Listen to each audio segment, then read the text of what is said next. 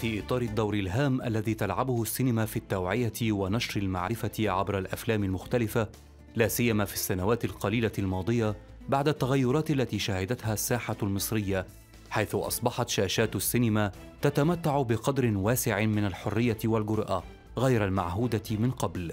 تبرز أهمية الأعمال السينمائية في كسر المألوف واختراق الحواجز الفكرية للمشاهد المصري.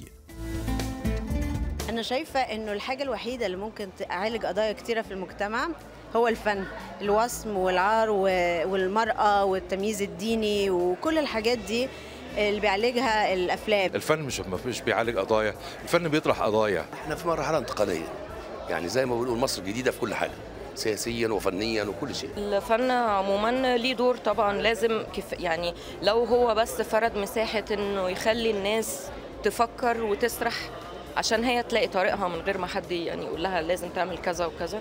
ده يبقى يعني حاجة عظيمة. وأظن إن إن جيلي واعي للنقطة دي ومش بس واعي ليها مهموم بيها يعني. إيه الحاجة اللي ممكن تغير مننا؟ إن إحنا نفكر. وإيه اللي بيخلينا نفكر؟ الفن. الفن هو المفروض يكون ليه رسالة مقدسة. اللي رسالته مقدسة بانه بيعالج مشاكل في المجتمع.